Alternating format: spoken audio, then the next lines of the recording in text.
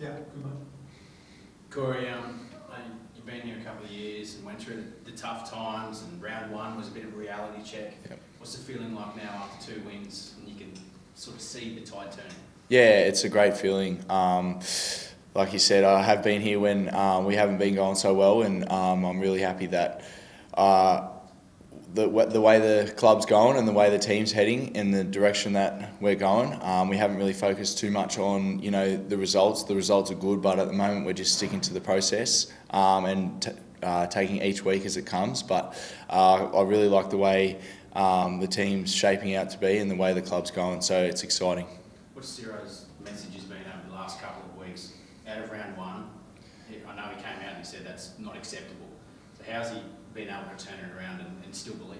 Yeah, I think just every game we play, I know we've only played three games, but we just uh, have lessons out of it. Uh, win, win or lose, I think um, we can take lessons out of out of each game, and uh, as long as we learn from them lessons and address them during the week, um, we can only get better. So I think if we continue to do that, um, the results will come off the back of that, and just trusting that uh, every every week we learn, every week we get better um, as a team, and we gel uh, each game we play, um, then the results will take care of itself, and we know what we need to do um, to win the game. So if we just keep doing that and learning and getting better and growing, um, only way is forward.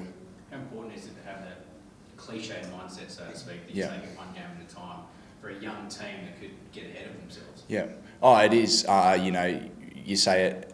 Uh, one one game at a time. It is a bit of a cliche, but it you know, it, it is. You know, a week in rugby league is a long time, uh, especially at this level. So um, we just learn learn um, situations in the game, and I know that uh, we are a young young squad, and we haven't. You know, there's boys here that are new and haven't played much time with each other. But uh, the longer we play together, and um, the better cohe- cohesion we get, um, we'll be better for it.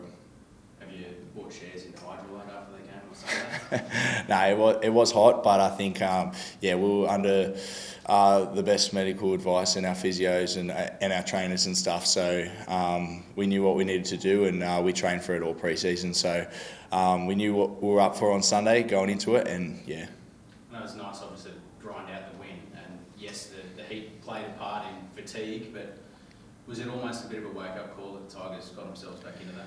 Yeah, I think, um, like I said, we won that game, which was really good to come away with them two points. Um, but again, we can learn from where we went wrong there. There was there was a period in that game there where I think you know we weren't at our best and we weren't um, playing playing football, so to say. So.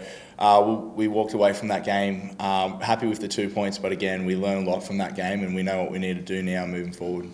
The Warriors have been maybe a bit of a surprise packet by going to Townsville and knocking off the Cowboys. Yeah. They're a dangerous prospect, especially on home soil. Yeah, hundred percent. They're looking real good this year. I've you know watched their games and um, they've, got a good forward pack and um, their outside backs are really getting them out of trouble. So uh, we know what we're up for again. Um, going over to Auckland this week and we've got to be at our best. And um, uh, the last three rounds are gone now. And like I said, we're looking forward to this game. We know we we got to be at our best to beat them. Almost the Warriors evolved like they get out and just throw the ball around and see where it lands. How Yeah. hard is that to defend against no structure, basically? Yeah, it is. It is very hard. Um, we, I guess we have got to stick to stick to our principles in defence and uh, make sure that uh, we're really tidy around the ruck there because uh, they they are not afraid to play football and they've got some really class players there that can sort of come up with no, um, something out of nothing. So we've got to be on high alert in defence and uh, we know that. Uh, if we're going to win this game, it's got to come off the back of our defence. So um, we'll be looking for a big, big game. Is different. Correct me if I'm wrong. You're off contract this year. Yeah. Where you're in those negotiations, I, I assume you can see something building Yeah. here and you want to remain at Belmore. Oh yeah, hundred percent. Um, you know, I haven't really thought about that too much. I've just focused on um, playing good footy and um, making sure that the team's where it needs to be each week, and making sure that uh, my footy's uh, getting better each week. And uh, I guess yeah, that, that stuff will come when when due time. But at the moment, I'm just focused on playing well and making sure that we keep winning. I can understand that, but everyone wants security. Yep. Something that plays on your mind at all?